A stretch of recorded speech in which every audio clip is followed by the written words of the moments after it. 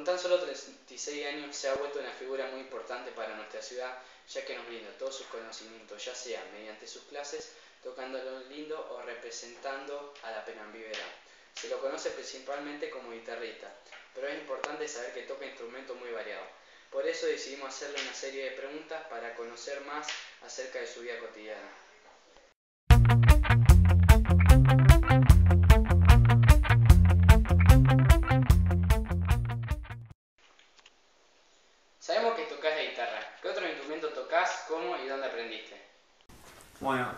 Eh, sí, obviamente toco la guitarra.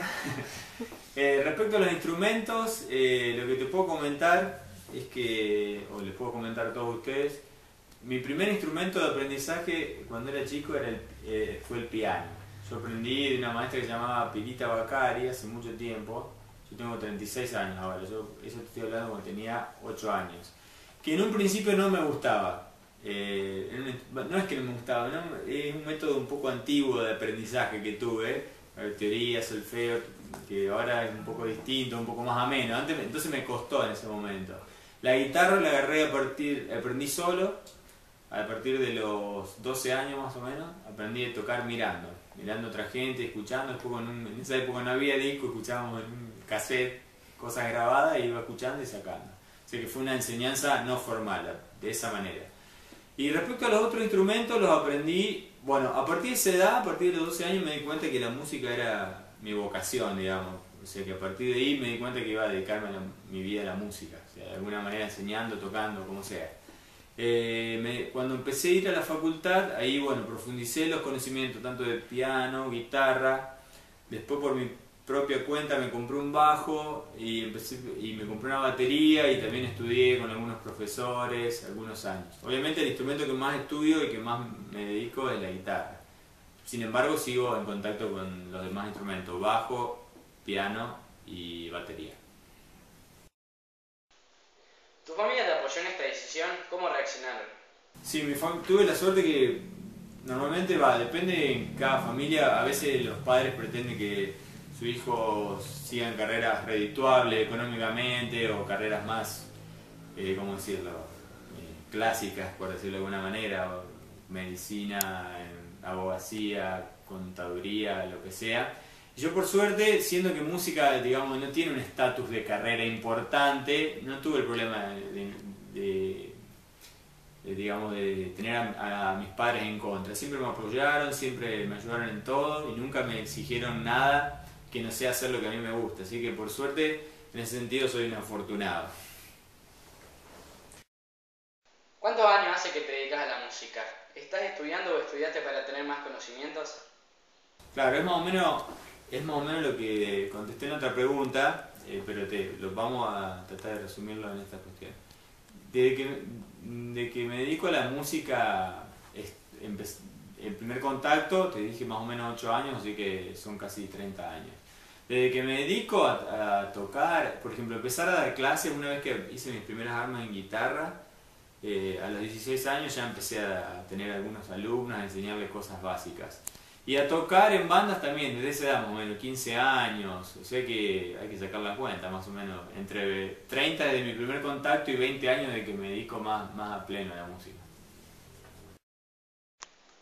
¿Algún integrante de tu familia toca, se dedica a la música? No, no tuve la suerte de tener eh, familiares directos eh, eh, que toquen instrumentos, ni que canten, nadie se dedicaba. yo lo considero importante eso porque en realidad si uno... Yo lo que tuve suerte es que mis padres sí escuchaban música y escuchaban tipos de música diversos.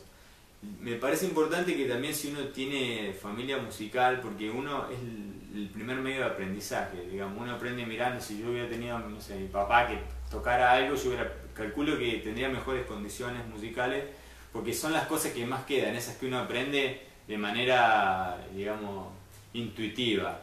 Así que, pero bueno, en ese caso no, no tuve la suerte. Cuando la comunidad de Sastre comenzó a conocerlo, ¿lo llamaron para actuar por ahí? ¿Cuál fue su primera actuación?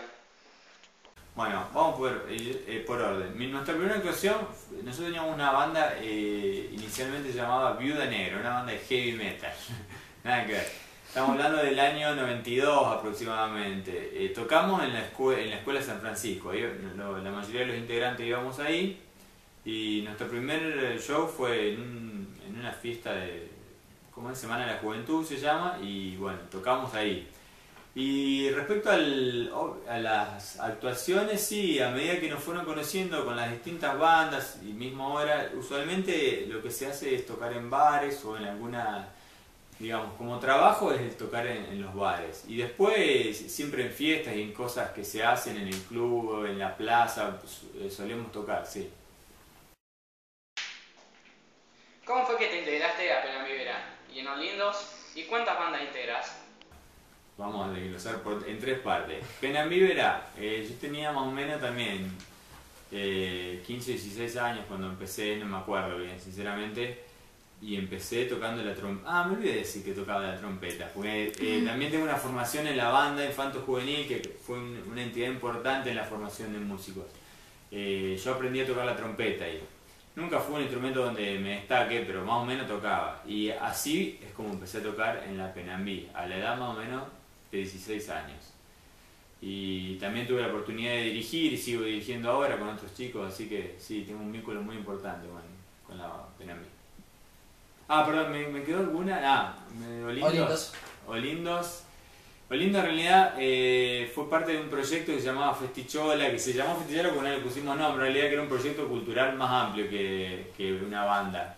En realidad pretendía mostrar arte y otras cosas y parte de eso eh, fue el grupo este que se formó hace tres años más o menos. Todavía estamos tocando y bueno, respecto al, digamos, a la banda lo que te puedo decir es eso. Estamos en vigente, digamos, y el origen fue ese. Actualmente, eh, siempre por ahí tengo oportunidad de tocar esporádicamente con alguna gente amiga, conocida, pero que toque regularmente tengo Olindos, como te dije, em, eh, una banda que se llama, con unos chicos de María Juana en la que toco el bajo que se llama Par Doble, que hacemos covers de rock nacional. Eh, una banda de, que hacemos de temas propios que se llama Babel. Básicamente son esas tres bandas. Finalmente, ¿qué opinas de la música en la actualidad en Argentina y en Santa Fe? Bueno, es una pregunta, es una pregunta amplia esa. La música tiene demasiados aspectos como para, para para contestar tan rápido, pero yo te, voy a tratar de decir así brevemente, porque si uno habla de la música, te puedo hablar de la música folclórica, de la música que se escucha en los boliches, la música popular, no sé, hay muchas músicas en Argentina. Por suerte, de Argentina lo que me agrada es que hay una gran variedad musical. Lo que me parece un poco lamentable es que en los medios no, no se tiene la posibilidad de escuchar eso. O sea, en realidad queda muy limitado el espectro musical, por ejemplo, a lo mejor depende del gusto de cada uno, se pone a investigar más cosas o menos cosas, pero si vos, por ejemplo, te guías por lo que escuchás en la radio o en la tele, no escuchás mucha variedad musical, es muy poco y es muy... Yo no, no puedo decir que sea malo, porque hay cosas que están buenas, hay cosas que más o menos, pero en general te ofrece poca variedad porque en general las compañías, la gente que vende música sabe a lo que, por ejemplo, si hablamos, pongamos un estilo popular, la cumbia. Eh, se recurre a fórmulas que saben que a la gente le va a gustar, entonces es como una fórmula que se repite constantemente. Eh, en Santa Fe, ah, porque me preguntaste en Argentina, en Santa Fe, y no me acuerdo qué otra cosa, pero eso. Sí, bueno, en Santa Fe, no sé, es una misma realidad, que yo. Eh, a, mí, a mí lo que me gusta, particularmente a mí me gustan muchos estilos musicales. Si bien siempre estuve orientado dentro del rock o el pop, o como cosas de jazz, algunas cositas, pero eh, me gusta el folclore, me gusta, veo que hay mucha producción musical, que hay, que hay muchos músicos, así que en ese sentido estoy conforme, estoy contento con esa pelea. ¿Qué mensajes dejarías para la comunidad de Sastre? Bueno, eh, si se me pregunta por un mensaje, yo particularmente no soy eh, amante de de decir, mirá, tienen que hacer tal o cual cosa, pero a mí lo que me, sí que me gustaría es que, que traten de interesarse, no solo a nivel musical, en general a nivel cultural y de participar, que es lo que por ahí, yo veo que por ahí falta un poco de, de entusiasmo en participar en diferentes actividades culturales. Así que Respecto a la música, obviamente, yo creo que por suerte cansaste de muchos músicos y yo estoy muy conforme con eso. Yo doy clase y veo que hay mucho interés por la música y mucha gente que participa, así que Pero bueno, básicamente ese sería mi mensaje, de involucrarse, de participar, de estudiar, que es muy importante, que es una cosa que me olvidé decir, que nunca hay que dejar de estudiar, por lo menos tratar de estar en contacto y no pensar que bueno, ahora ya, ya sé tocar esto, ya está, porque siempre hay algo más, siempre hay algo más y es lo que nos, lo que nos mueve a nosotros, así que básicamente eso es lo que me interesaría que les quede.